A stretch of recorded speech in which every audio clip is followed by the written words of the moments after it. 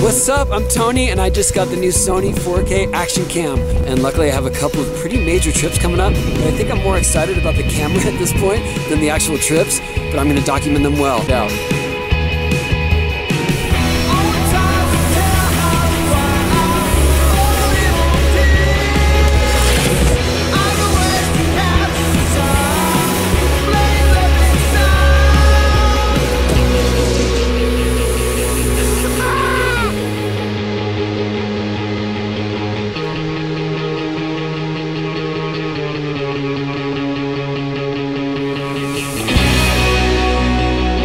Have a chance to escape with Lizzie Armanto and shoot some 4K footage together.